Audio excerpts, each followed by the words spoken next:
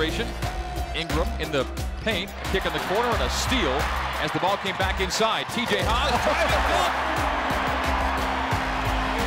Not messing around with that one. He threw that down.